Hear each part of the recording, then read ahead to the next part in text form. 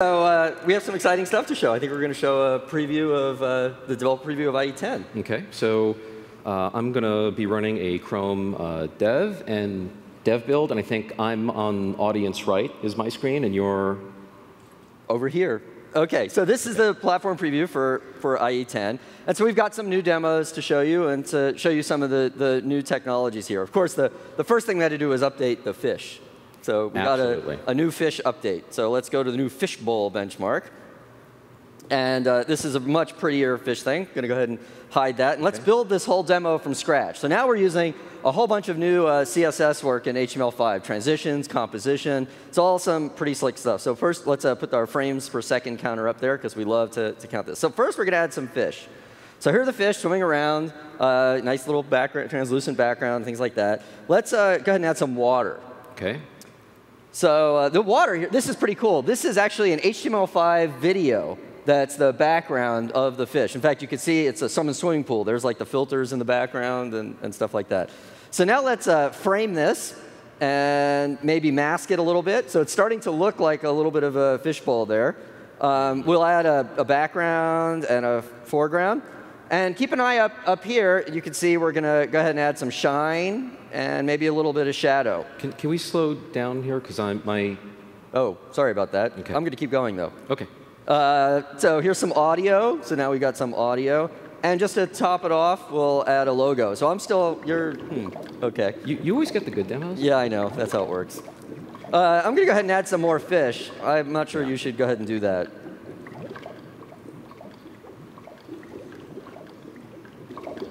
A lot of fish here in Mandalay Bay. I don't want to put any more fish. The fish police will show up.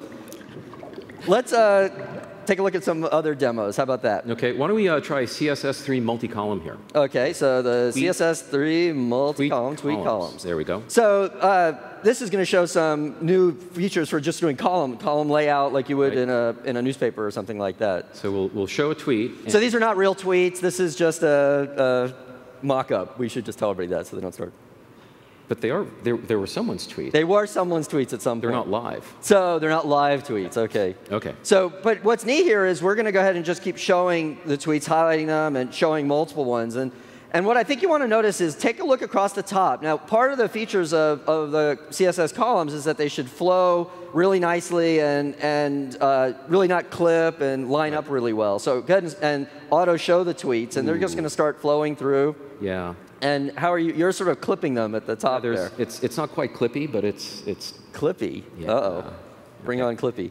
All right, so we're going to maybe cycle. So we're going to cycle the columns. And so now this just shows that having multiple layouts for this. And you can still see that we're got, we're, we have these odd layout challenges there. And so the importance of same markup right. and really implementing the standard correctly is, is something that's going on here. And it's, so it's pretty cool to just keep, yeah. keep showing that. Why don't we go and uh, keep going, showing some, okay. some other ones. Let's uh, um, show Griddle. Griddle. Or I think, is that what we're going to do now? Yeah, yeah, let's do Griddle. OK. So Griddle, uh, this shows uh, the CSS Flexbox. And so this is pretty cool. So you, this is one where you want to do an n by m layout of some, some regions in your screen. And one of the neat things about this uh, CSS is that it allows you to resize the window. So now as I resize, wow, you're not yeah, doing very well is, over there. This is kind of sad right now. Um, but as I resize, you see it, it shows the, the, the grid uh, in a correct way. In fact, you can keep resizing it, and you see how it changes almost to like a, a mobile view there. Yeah, that's really cool. So pretty cool. So. All right, so we'll, we'll go back and uh, maybe share some ES5 strict mode. OK, so strict mode. Try strict mode.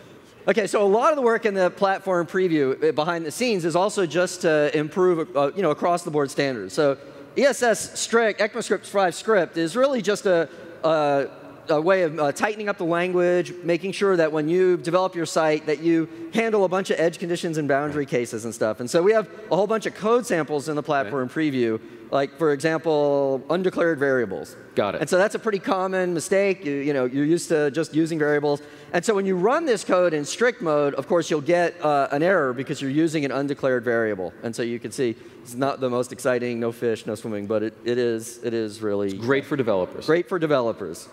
So gradients are a huge pain in the neck for everybody. They, Right. You're always trying to do these one pixel wide things and have them work, and every time an artist wants to change it, it's back to Photoshop and all this. So CSS has these gradients sort of built in, Right. and so in the platform preview, we've, we've gone and implemented that. So, So why don't we uh, actually show them a gradient in action? ooh, can- wee.